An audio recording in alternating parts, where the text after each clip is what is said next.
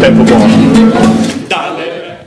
È venuto il, il 4, 4 l'8 settembre e da lì abbiamo incominciato a, a racimolare qualche cosa, ma senza pensare a, a cosa potesse, potesse venire in, in futuro.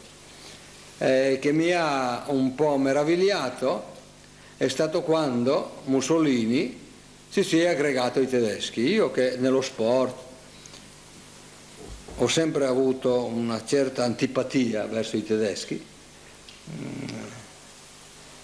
perché, eh, perché eh, oltre essendo nativo friulano, eh, noi siamo rimasti invasi dai tedeschi, mi ricordo che loro avevano, avevo otto anni, eh, lo so tutte le angherie che hanno fatto e dunque mi è rimasto un po' il dente avvelenato e allora dico la verità, io ero iscritto al partito fascista, come molti e molti italiani, vorrei dire moltissimi. Eh. E da quel momento ho detto no, qui Mussolini sbaglia tutto, io non mi sento di collaborare con i tedeschi e ho buttato via la tessera e uh, guarda che io non mi, non mi sono mai dedicato alla politica, mi sono sempre dedicato allo sport. E anche allora ero iscritto al partito, mi hanno iscritto dopo che erano schiuse le iscrizioni da tre o quattro anni, mi hanno, mi hanno iscritto per la mia attività alpinistica perché facevo alpinismo, altrimenti forse sarei rimasto fuori come tutti gli altri. Ad ogni buon conto eh, mi sono subito aggregato con questi e poi dopo quando ho saputo che, che Mussolini si era aggregato, come ho detto prima, ai tedeschi, eh, maggiormente mi sono... E dunque io lavoravo con Osvaldo Cariboni, socialista fervente, anche antifascista mh, da sempre, e, e con lui uh,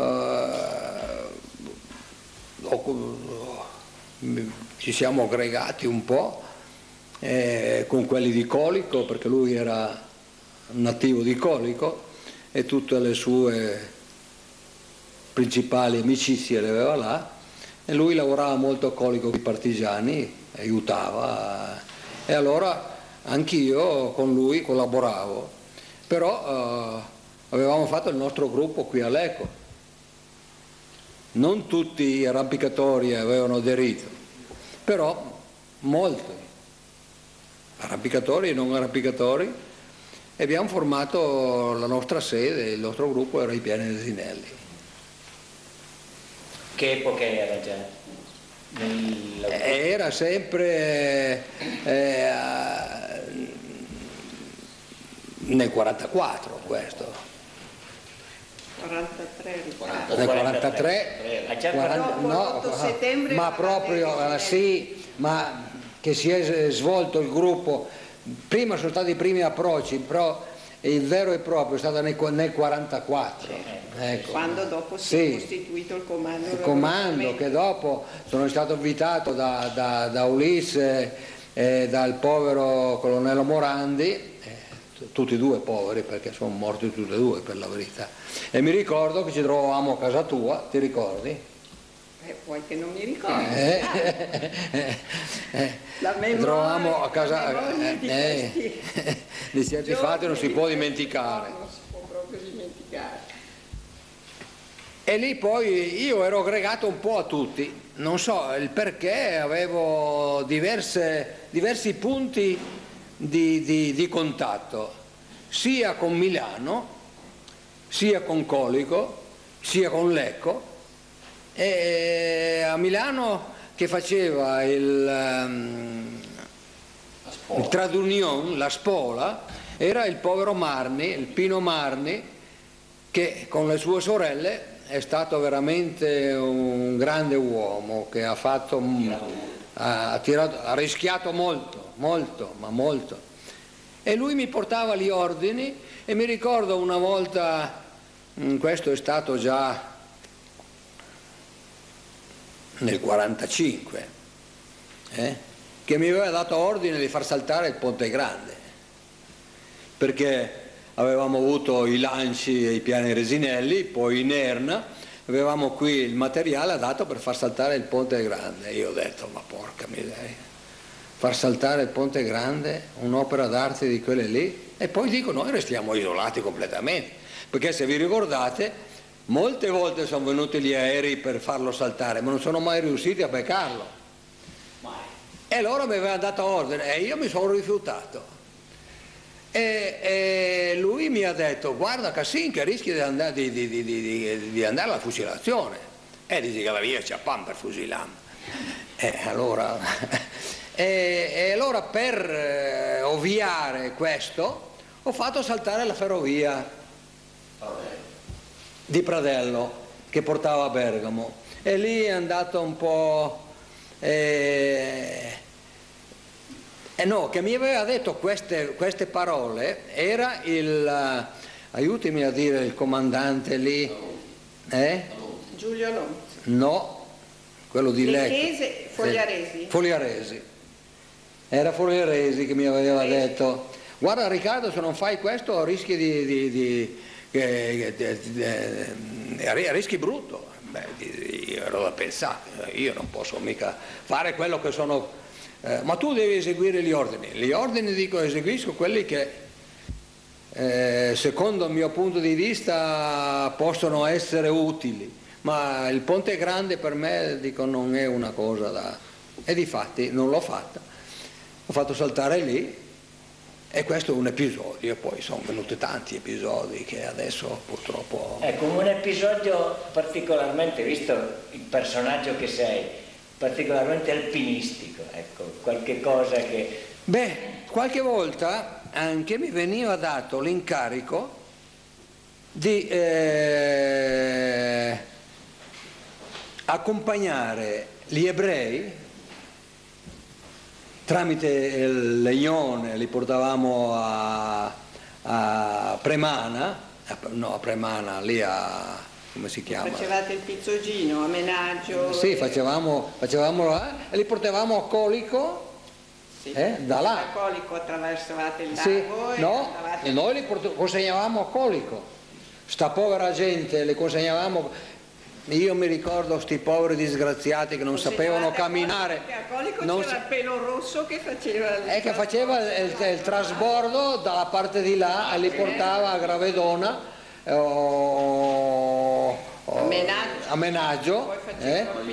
eh sì, e lì poi li portavano su a, al Berlinghiera oh, che, ma erano, erano, cose, ma gente non preparata, eh, gente che non camminava, gente eh, e noi non avevamo neanche da mangiare per noi, non potevamo mica darne neanche troppo anche a loro, noi cercavamo di aiutarli, sì, accompagnarli, però Stato, ho fatto tre viaggi di quelli lì, ma dico dopo mi sono rifiutato perché mm, eh, mi facevano pena, perché dico come si può portare, eh, farli camminare per, per due o tre giorni di fila in mezzo alle montagne, questa povera gente che non, che non sapeva camminare. E loro poveretti avevano paura della morte, perché erano e noi cercavamo anche di aiutarli, sì, ma però insomma. Ma stamattina mi, mi raccontava la signora che ogni, mi pare anche che era Morandi, no? Chi, chi, sì, ecco. quando c'è stato il rastrellamento, quando c'è stata la battaglia di Erna, sì. voi l'avete portato alla Rosalba, l'avete legato, lui aveva le scarpettine da città e per defilarvi dai Rossinelli l'avete portato alla Rosalba. Poveretto. È stata un'avventura. e lui poveretto. Un uomo anziano, un uomo che non aveva mai eh, la montagna, mai la montagna portarlo su per la, per la, per la direttissima e l'abbiamo quasi portato di peso non di peso perché eh, portare un uomo è legato è come buona... sì, beh, legato beh, quello era il meno che si poteva fare Eh? Già cioè, Ma lei che non, è non era attrezzato, eh, beh, a quei tempi sapete benissimo che l'attrezzatura non era tanto facile averla. Certo. Abbiamo, so che mi ricordo che alle, Spini aveva un paio di scarponi e li ha ceduti, ma erano troppo grandi. credo. Era peggio che camminare con le scarpette, insomma. E questo è uno di- di tanti episodi, insomma. Eh, mi ricordo quando per esempio è venuto il primo lancio ai piani Resinelli, adesso io non mi ricordo neanche più la, la- la- la coordinata cosa era. Nerino non parla, il mondo del tondo. No, ma era una, una cosa strana che adesso mi scappa, mi scappa, mi scappa il nome. E abbiamo avuto, e siamo partiti, io sono partito da, da, da, da- da uno stabilimento di, di- di- di Cariboni, da, da- da- Pescate. pescate, eh? di corsa in bicicletta, venire a casa, vestirsi, andare sui piani resinelli, mettere giù le torce, eh, le torce a vento e fare, la- la- e fare i segnali. eh? Io, Piloni, il povero Boga soprattutto. Eh, il Boga, Spini, il Butti, Tizzoni, Tony Bonaiti, poveretto, sì, Tony Bonaiti, Renzo Bonaiti, quello meno, però qualche volta. Errati invece non è mai... Non, eh, l'abbiamo aggregato gli ultimi momenti proprio perché non ci fidavamo. Avevo delle amicizie un po' strane, non ci siamo mai fidati di... di- Poveretto, e dopo ci ha lasciato la pena qui. Non conosco l'episodio caso. E così eh, mi ricordo che abbiamo messo giù ste, ste- ste- e poi passa l'aereo e non vediamo niente. Porca miseria, chissà perché, chissà perché. E dopo abbiamo visto come qualche cosa eh, a venire giù, sono venute giù tutte verso il Cassin, verso Balabio, che per poco non vanno sulla caserma delle, de- de- delle brigate nere, sbagliavano, sbagliavano. Eh, e questi due, questi due filibustieri che sono venuti giù, uno si chiamava eh, Fulvio e uno Ciccio, eh, con, due pistoloni, eh, quando eh, hanno chiamato, no? Eh, abbiamo dato le- le- la coordinata eh, e sono presentato con la pistola in mano, "Te- scemo da Madonna, tirala via perché noi sei Quintani, dite se per te. Eh, eh, perché non voleva, aveva paura, insomma. Dico, tu o hai paura o sei un fifone, non so, non capisco cos'hai. E difatti dopo ci siamo messi e lì abbiamo nascosto Erano italo-americani. come? Italo-americani. Erano- Cittadinanza loro erano, erano difatti, lui parlava un po' l'inglese ma molto male, insomma, ecco. Voleva farsi vedere americano, ma dico tu sei italiano come me. Ho capito subito. E lì questi, questi ragazzi, pensate che li abbiamo, il Giovanni Secrista, poveretto, li ha tenuti in casa, in casa lì a Castello per un mese, che se, li- se lo prendono fucilano tutta la famiglia, mia soltanto lui. Me l'ho tenuti un po' anch'io, ma io avevo quattro bambini, dico, eh, era un bel rischio, più la mamma, la sorella, la moglie, fusilava in touch. E dopo invece li abbiamo trasbordati un po' in erna, un po' così in giro. E lì eravate un gruppo tutto di- dei, dei vecchi ragni. No. No, loro non si chiamavano Ragna, loro si chiamavano Arrampicatori Nuova Italia. Arrampicatori E quindi però eravate tutti amici. Sì, sì, beh, logica. Quindi, Eh, cioè, tu- cos'era un po' una... Cioè, c'era- si respirava... Com'era l'atmosfera tra amici così, anche con- come convinzione? Beh, ma vedi, eh, noi avevamo, eravamo ami- amici, sì, amici, eh, quelli che arrampicavano, però abbiamo, siamo- con noi ci sono aggregati molti altri che non avevano niente a che fare con la nostra amicizia, per esempio i, i tentori, i tre, i tre frate- i tre fratelli tentori, che loro praticamente sì, li conoscevamo benissimo perché andavamo sciare assieme e così. E loro si sono aggregati e poi tanti altri, il Funzi, il povero Funzi, che non veniva in montagna, dopo altri che, che, che i due fratelli, cioè sono due i fratelli, il Funzi come si chiama? Crotta. Rotta, sì, Crotta. due, Crotta, sì, i due fratelli. No, no, no, no, no, sono- erano Il giovani. 17 ottobre quando ha fatto stanamente dei Resinei, era su Bruno Gambilla, no? Sì, Sì, C'era beh, Pino Marni, Pilon, te, poi c'era Morandi, Pini c'era Pini. no. no, no, no, no, no, no, no, que- ecco, Pino era di Mandello. Attore delle grigne di Mandello. Sì, era di Mandello, lui era con, con la, con la, con la- eh, lui era con la brigata Poletti. gli armi della caserma che Sì. ha portato quasi tutti sui, Resinei, no? Sì, ma anche, ma anche a Mandello ne sono andate molte di quelle. Sì, perché allora c'era il cosiddetto E c'era comando fu, e militare c'era tre colonnelli. Renzo, ispettore della Selle, il quale era finita alla fine della parte. E lì hanno preso, han preso il, sì, il povero eh, eh, il Marni, no? no. Rotta. I cappelli. Senti, è il momento più, più brutto che ti, ti sei visto. Ma io no- no- no- no- non- il momento più brutto è stato quando è stato il 26, il 26 il, il giorno 26 aprile che sul ponte eh, di Via Como eh, ero sopra le cervella del povero Pico e io avevo la bazooka in mano, avevo sparato il primo colpo e avevo fatto saltare il canoncino che aveva, che aveva sparato contro il povero Pico che gli ha preso proprio la testa e ho fatto saltare quello lì. E dopo intanto che mi sono abbassato dietro il ponte per caricare ancora la basurca loro hanno tirato via quello lì, ne hanno messo un altro, hanno sparato e hanno preso il terrapieno della ferrovia e mi hanno ferito. E i miei compagni, io, eh, mi hanno ferito in faccia, venivo- ero tutto grondante di sangue, e i miei compagni eh, sono scappati ah, scappavano perché mi vedevano ferito, sai, quando vedono eh, il capo che è ferito li hanno più paura ancora.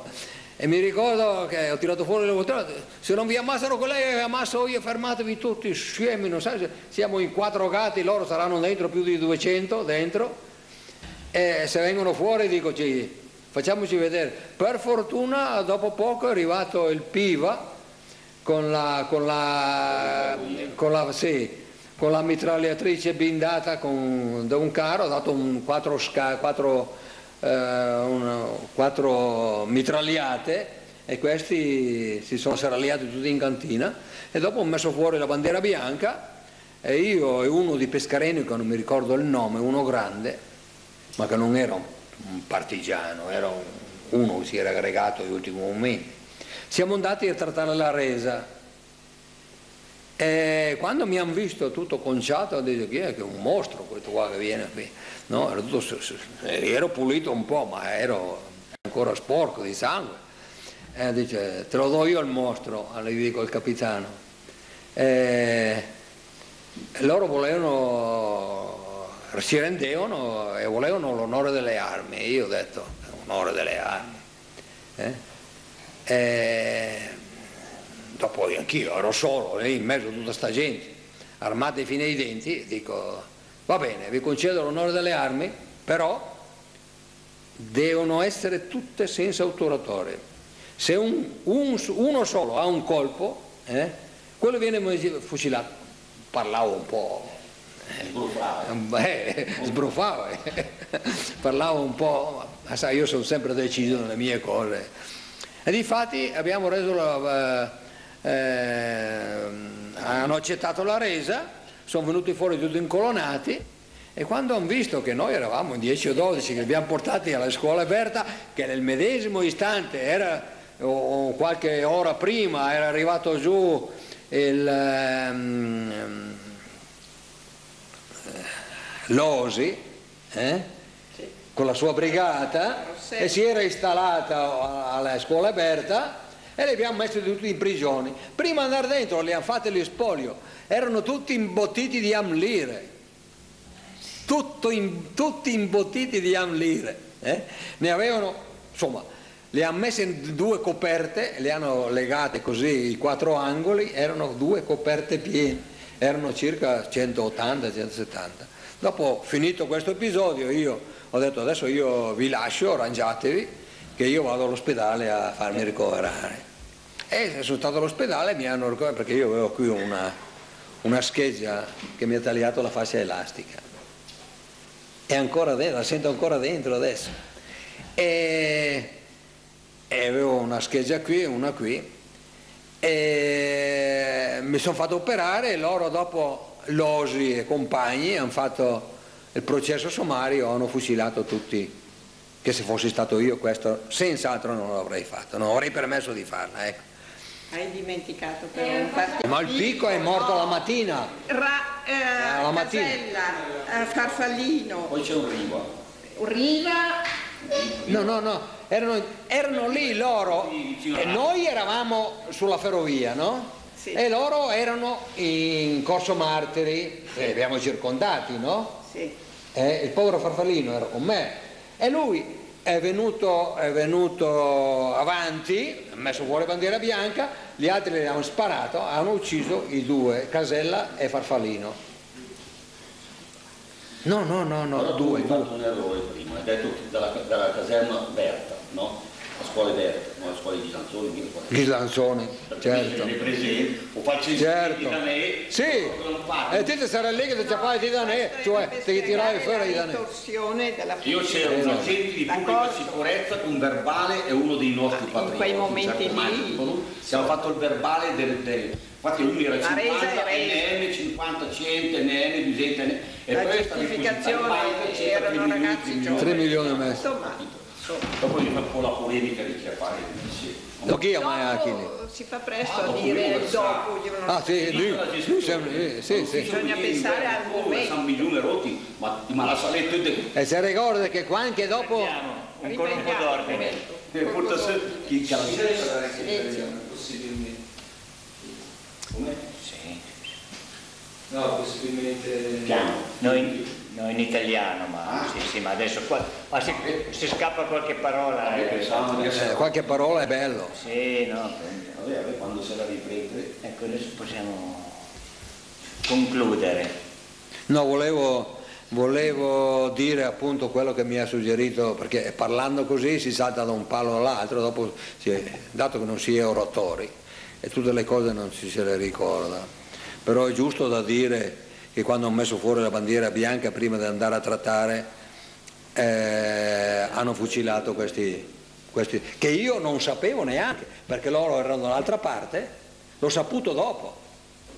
L'avete circondati. che, che avevano ucciso il farfallino e, e- e il Casella. Questi, cosa le brigate nere? No? Sì, erano le Brigate Nere, le Manganiello di Firenze La leonessa di Brescia, mi pare. e, e il Manganiello di Firenze. Tagliamento, genere- Comunque a il Miranda dalla genere dissi, va bene, ho dovuto mantenerlo fino a quando il re americano porta via 27 anni. Te, e quando dopo li hanno trasferiti, eh, ne hanno trovato ancora una buona parte di quei soldi lì, ne avevano ancora degli altri, che voi non li avete trovati, quando avete fatto lo sforio. Questo è, è il finale.